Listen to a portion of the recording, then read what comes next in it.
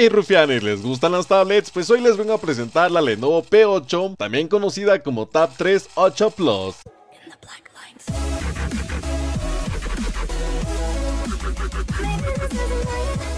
Antes de comenzar este video les comento rápidamente que en la descripción del video les voy a dejar un link directo de compra en caso de que estén interesados en comprar esta tablet y además les voy a dejar el review completo que hicimos para mi segundo canal, Charlie Reviews. Muy bien, para comenzar este gaming review les comento que en la parte de abajo tienen las características de esta tableta tales como modelo del CPU, GPU, memoria RAM y resolución de pantalla. Pero bueno, el primer juego que tenemos en este test de rendimiento es el juego de Geometry Dash, el cual me encanta probar en el test de rendimiento ya que es un juego relativamente rápido, llega a tener varios elementos en pantalla. Además, considero importante conocer el rendimiento del procesador porque no vaya a tener algún problema de compatibilidad u optimización con dichos juegos. Y bueno, qué mejor que probarlo con este juego, ¿no? Y bueno, ¿qué les puedo decir? El rendimiento es buenísimo, absolutamente fluido, sin caída de frames, no se ralentiza básicamente nada y por ello es la primera prueba superada. A continuación tenemos el juego de Asphalt Extreme, posiblemente el juego de carreras más demandante gráficamente que existe actualmente, ya que maneja muchos efectos visuales como partículas, reflejos, efectos de luz, escenarios dinámicos y varias cosas más. Y bueno, para Asphalt Extreme configuramos todos los ajustes de calidad a tope al máximo para que se vea hermoso el juego. Y en cuanto a rendimiento no dio absolutamente ningún problema, no se caen los frames, no hay bajones. El juego es súper pero súper fluido, de verdad no recuerdo que tuviera alguna caída considerable en muchos mapas, en muchas pistas. Y por ello es la segunda prueba superada. Enseguida tenemos el juego de Injustice 2, ya saben que es un juego de peleas con gráficos bastante altos que se ven bastante pero bastante bien. Y bueno, este juego también me gusta probarlo ya que es bastante exigente.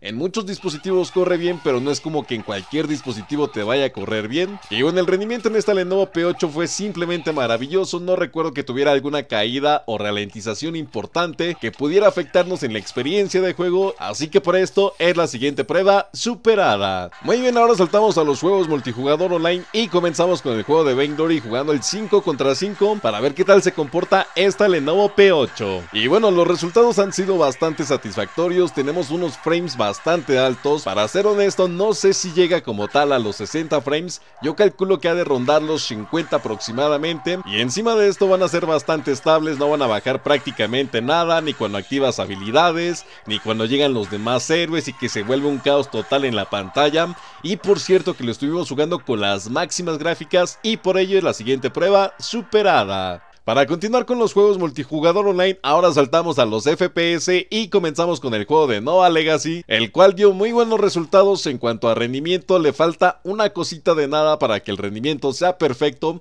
pero bueno, de todas maneras el rendimiento que da es bastante pero bastante bueno, además si a esto le sumamos la buena respuesta que tenemos por parte de la pantalla, nos va a ofrecer una excelente experiencia de juego y por ello es la siguiente prueba superada. El siguiente juego que tenemos es Bullet Force, ya sé que la comunidad sigue habiendo muchos jugadores que siguen jugando a este magnífico juego. Y bueno, les voy a comentar que obtuvimos buenos resultados, no fueron los que yo esperaba. Pero bueno, la mejor configuración que tenemos es el render al 100%, calidad de texturas al máximo. Pero la calidad de gráficos lo dejamos en moderado para que pudiera ofrecernos una excelente experiencia de juego. Y si se lo preguntan, también se puede jugar con la calidad de gráficos en altos o máximos. Pero esto va a provocar algunas caídas de frames que el juego se ralentice un poco. No es como que vayas a tener un super lag pero bueno, con los ajustes de calidad que les acabo de comentar se juega excelente y por ello lo consideramos una prueba superada. El siguiente juego que tenemos es el juego de Pug Mobile. Charlie, ¿qué tal se comporta la Lenovo P8 en este juego? Para comenzar configuré los ajustes de calidad con una calidad media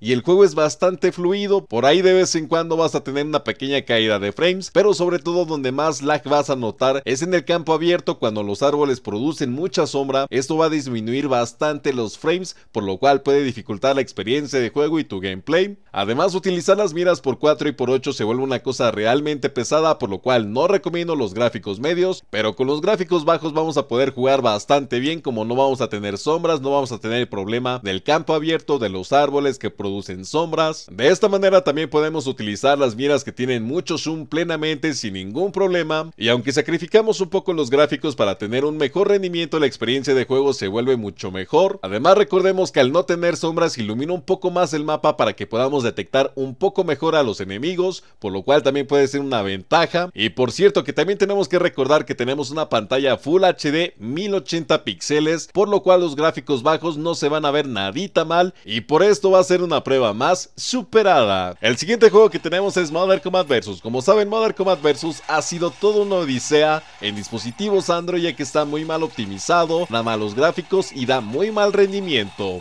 Bueno, con la Lenovo P8 tenemos un buen rendimiento, ha sido de los mejores rendimientos que he visto de Modern Combat Versus en Android. Vamos a tener muy pocas ralentizaciones, básicamente vamos a poder jugar bastante a gusto, pero aún así vamos a tener el problema de los gráficos, seguimos teniendo los gráficos bajos, no tenemos gráficos configurables, pero bueno, después de todo nos puede ofrecer una muy buena experiencia de juego. Y por ello va a ser una prueba más superada. Por último tenemos Modern Combat 5, ¿qué tal se comportó la Lenovo P8 en Modern Combat 5? Para comenzar configuramos los gráficos en optimizados con un render de 100% y los frames limitados a 45. De esta manera se consigue buen equilibrio de rendimiento con buenas gráficas. Y también les comento que ha sido de los mejores rendimientos que he visto en resoluciones 1080p, aunque también va a ser cierto que en algunas ocasiones vamos a tener caídas de frames, estas no van a ser muy constantes y tampoco van a bajar tanto los fotogramas por segundo, es decir que no te va a dar lag que el juego se va a volver injugable. Y a final de cuentas va a permitir una buena experiencia de juego con buenas gráficas, buen rendimiento y aunque tampoco va a ser muy sorprendente también la respuesta táctil va a ser bastante buena y por esto va a ser una prueba más superada. Y ya para finalizar les recuerdo una vez más que en la descripción del video van a tener un link directo de compra para comprar esta tablet, además que les voy a dejar el review completo que hicimos para mi segundo canal Charlie Reviews. Y bueno aquí vamos a finalizar este video, espero que la información que te he dado te sea de mucha utilidad, no olvides seguirme en mis redes sociales para estar en contacto y echar el chisme, y si eres nuevo en este canal te invito a suscribirte y activar la campanita para que te enteres súper rápido cuando subimos videos nuevos, y aquí me despido, yo soy Hiro Charlie y nos vemos en un próximo video.